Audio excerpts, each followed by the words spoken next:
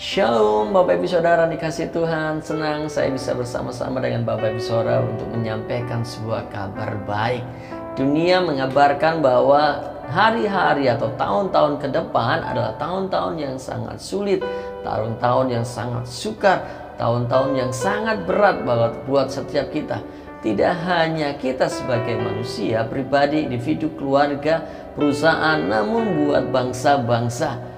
Sekarang ini telah tercatat bahwa ada 14 negara yang menyatakan dirinya bangkrut dan meminta bantuan kepada badan IMF dunia. Ada kabar lagi menyatakan bahwa ada 20 negara yang sedang ikut antri meminta pertolongan IMF supaya bisa mendapatkan bantuan dana. Juga ada 66 negara yang akan ikut ngantri juga untuk mendapatkan bantuan. Kalau kita lihat dari keadaan seperti itu, maka keadaan ini adalah keadaan yang sangat sukar.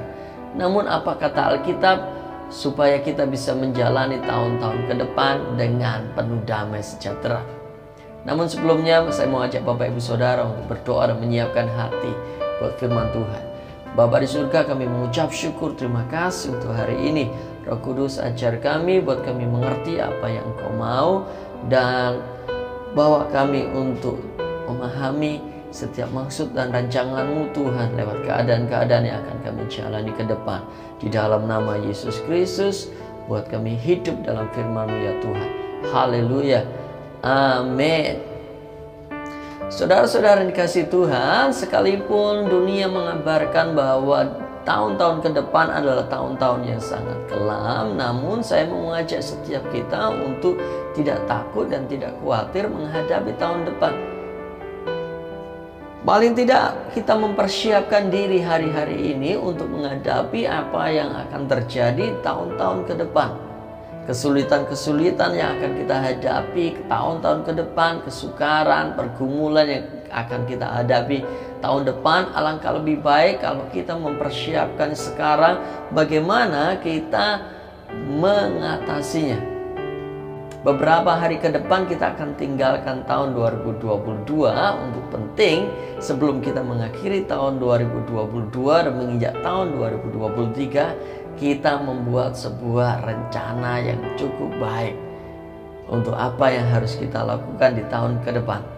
Karena kegagalan kita untuk merencanakan sesuatu di tahun ini untuk apa yang kita lakukan di tahun ke depan itu berarti kegagalan yang sudah pasti.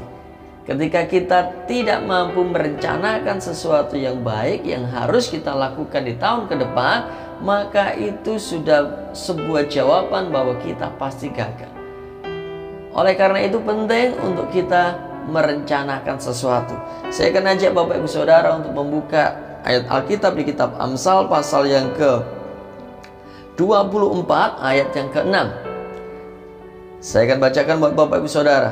Karena hanya dengan perencanaan engkau dapat berperang dan kemenangan tergantung pada nasihat yang banyak. Dari ayat ini dikatakan kalau ada perencanaan maka kita bisa berperang. Anggap saja tahun depan itu adalah sebuah peperangan buat kita, perang ekonomi kita, bagaimana kita bisa memenangkannya.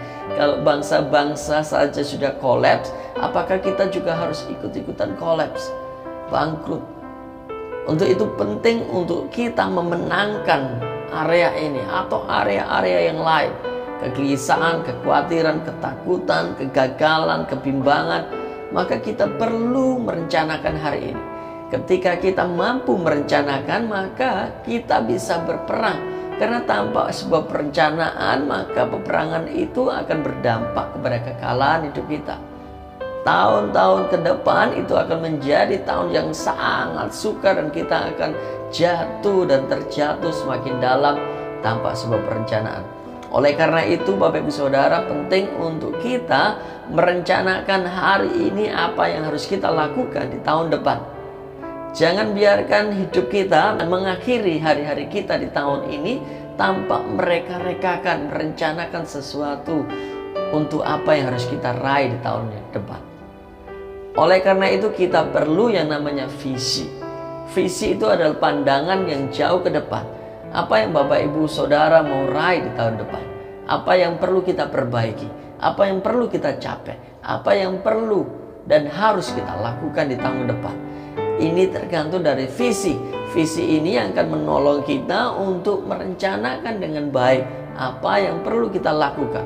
Sebuah contoh jika Bapak Ibu Saudara ingin mengalami sebuah kebebasan finansial, maka perlu sebuah perencanaan bagaimana cara supaya kita bisa mengamankan dan melipat gandakan keuangan kita bebas dari kekurangan.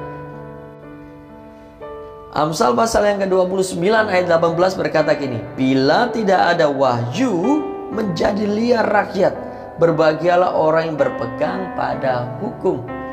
Visi ini akan mengarahkan kita melangkah secara tepat dan memampukan kita merencanakan secara detail sampai kita mendapatkan apa yang kita raih. Saya percaya ketika kita hari ini memiliki sebuah visi, tujuan yang perlu kita raih di tahun ke depan, kita akan mampu merencanakan segalanya dengan sangat baik. Namun itu tidaklah cukup. Kita perlu yang namanya hikmat untuk merencanakan langkah-langkah apa yang perlu kita ambil, langkah-langkah sederhana, langkah-langkah yang kecil, langkah-langkah yang penting yang perlu kita lakukan supaya kita bisa mencapai visi itu. Untuk itu kita perlu hikmat. Bagaimana cara kita mendapatkan hikmat? Amsal pasal yang kedua ayat yang ke-6 berkata begini. Karena Tuhanlah yang memberikan hikmat dan dari mulutnya datang pengetahuan dan kepandaian. Hikmat itu datang dari mulut Tuhan. Hikmat itu pemberian Tuhan. Kepandaian dan pengetahuan itu ada di mulut lidahnya. Oleh karena itu, untuk bisa memiliki hikmat, supaya kita bisa mampu merencanakan dengan baik, sehingga kita bisa mendapatkan apa yang kita raih di tahun 2023, maka kita perlu mendekatkan diri kepada Tuhan, mendengar firman-Nya, karena Tuhanlah yang akan memberikan hikmat buat setiap kita. Langkah demi langkah Tuhan yang akan tolong kita, yang akan tunjukkan jalannya. Firman-Nya itu bagai pelita yang menerangi setiap langkah kita. Dunia boleh berkata, tahun depan tahun yang gelap. Sepanjang kita hidup dalam firman-Nya, kita hidup dalam terang. Itu akan menolong kita melangkah dengan pasti. Oleh sebab itu, jangan jauhkan diri kita daripada Tuhan di tahun 2023. Namun dekatkan diri kita sedekat mungkin supaya kita terus mendapatkan hikmat-hikmat yang keluar dari mulutnya. Pengetahuan dan kepandaian yang Tuhan berikan bagi setiap kita. Saya percaya tahun 2023 bukanlah tahun yang mengerikan bagi setiap kita kalau kita melakukan ini. Mulai rencanakan sesuatu yang harus kita lakukan dengan berpatokan pada setiap visi yang kita punya hari ini.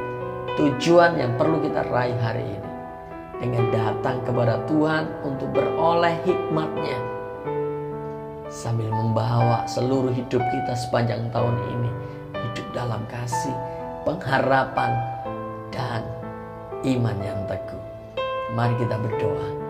Bapak kami mengucap syukur terima kasih buat kesempatan hari ini kami boleh belajar sedikit sebagian dari firman-Mu. Kami mohon kemurahan-Mu ya Tuhan.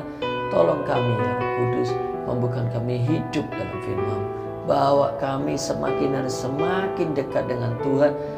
Berikan kami hikmatmu untuk kami mampu mereka-rekakan sesuatu yang perlu kita lakukan di tahun yang akan datang ya Tuhan. Bapa kami mohon kemurahanmu. Tolong taruh visi pribadimu atas setiap kami umatmu. Di dalam nama Tuhan Yesus Kristus, diberkatilah Bapak Ibu Saudara dengan kasih setia Tuhan penyertaan yang tidak pernah menjauh dari hidup saudara, kemampuan untuk hidup dalam firman-Nya dan untuk menikmati segala yang ajaib yang Tuhan kerjakan atas hidup saudara dan saya. Terima berkat itu di dalam nama Tuhan Yesus Kristus.